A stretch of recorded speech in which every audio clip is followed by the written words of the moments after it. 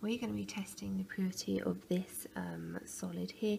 Here I have a melting point tube, which is a very, very fine tube, um, which has an opening on each end. And what I need to do is just fill this with the organic solid um, to about five millimeters in depth.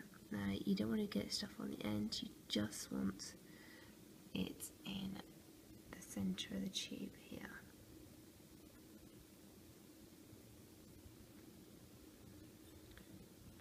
So there is about five millimeters of um, my organic solid in this uh, tube here. I can. So this is our rather ancient melting point apparatus. These are our melting point tubes with a tiny bit of our um, solid that we just made in there.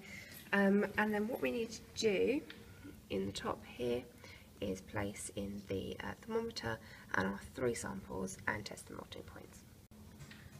So now we've set up the apparatus and we can see through this um, little hole here, we can see our three samples and what we need to be watching is for when they um, melt and they should all melt um, at a certain point, it shouldn't be over a range and that will tell us that it is a pure sample.